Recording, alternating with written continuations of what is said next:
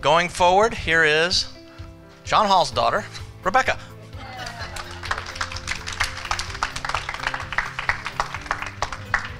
Thank you, Dad. Ah.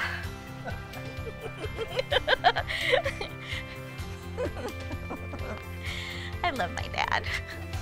Well, this next segment is a really special segment. It's where we celebrate people that are stepping forward in really powerful ways. These are individuals that I think I want to, not I think, that I think it's important that we celebrate each other.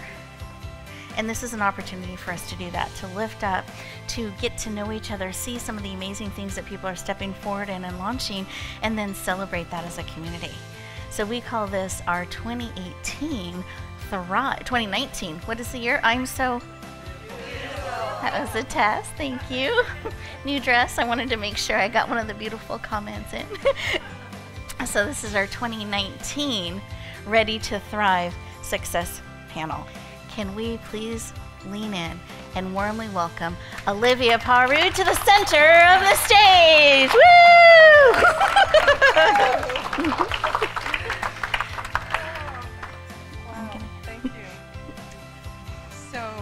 as, I- as she was introducing me, I, I had this oh, oh shit moment that I didn't put any nail polish on. So, isn't that funny what occurs to us at these times? Um, so I, yeah, I'm a, I'm a geek, and uh, I, when I got into the corporate world, I was, um, I was really traumatized because I was kind of also this very open-hearted person and spiritual seeker. And over the years, I did really well in my career. It was a great time to be a data scientist. I started in the early 90s. I wrote a best-selling book um, in 2001 called Data Mining Cookbook that was a global bestseller. But and then I wrote another book about um, just how to manage business intelligence, and then I wrote an award-winning book for SAS 2014. All the while knowing that I eventually wanted to bring love into business, and I started to see how the speed of change and the technology and the data I was using was actually creating the need for more human competencies. And do you want to share about a recent award that this beautiful book just got? Oh, it got a Nautilus Book Award. So got a silver medal in the Nautilus Book Award. So Rebecca told me, "Oh, this is a great book," you know, and I thought, "Oh, well, okay, she's being nice, but this was real validation." So Yeah, yeah. I have it back there. It's normally 19.95, but I'm selling it today for $10. If anybody's interested, um, I'd be happy to you know, sell it to you. Thank you. Great. And the thank you. follow-up book is out, but it's not in print yet. And Yep. that did get number one international Mm-hmm. bestseller. So she walks her talk. She can do it. So go for it. Thank you. So let's welcome Doug Silva to the center of the stage. Thank you. Thank you very much. I'm not one of those that feel like I need to be in the spotlight or be seen. I'm very much of an introverted person, but I love to make people look really good. And that's what I do. And I get to do something that I've done all of my life.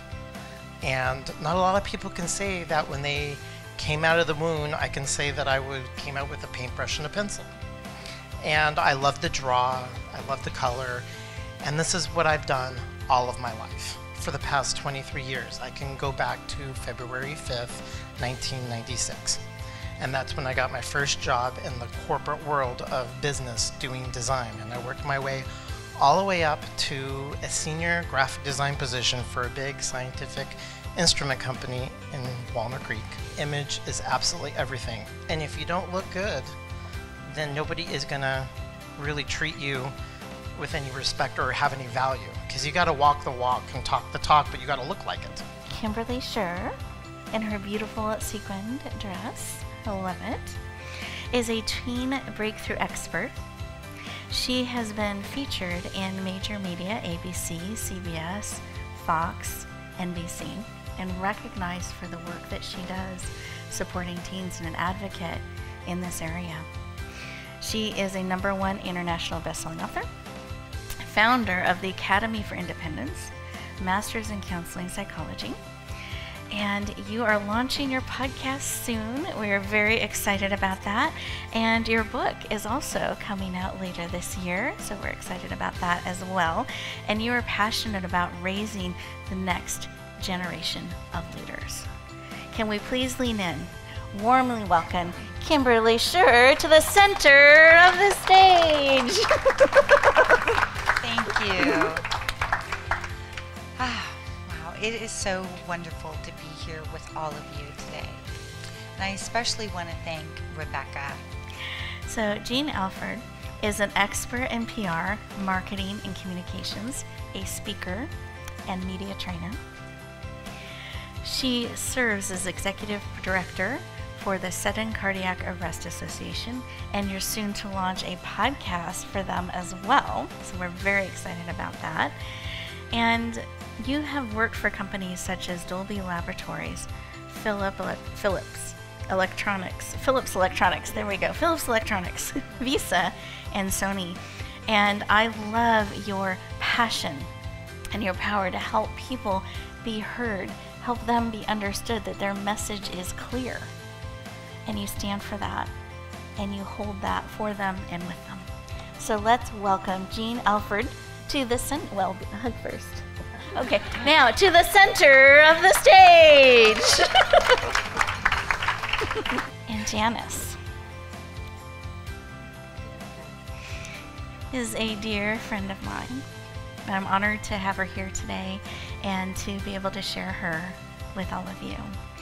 And I wanted to just share, I was going through your bio. You know, when you're friends and you're on the journey together, and then you take a moment and you get to read that bio again and see your beautiful, powerful friend and in that way because you know them on a heart level and that friendship and so i got to experience that in reading through your resume again and getting ready for in your bio and getting ready for today so i want to brag about my friend a little bit so janice is an executive producer for Janice Edwards, Bay Area Vista, which is an award winning show. It launched on NBC in the Bay Area. She has, I mean, numerous awards. It was year after year for this program and how she's touching people's lives with it.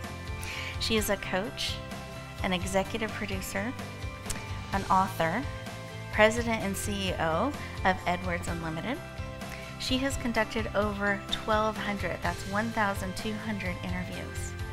Here's just a little touch of some of the people that she's interviewed Barack Obama, Oprah, Deepak Chopra, Robert Redford, John Travolta. Like there's a range.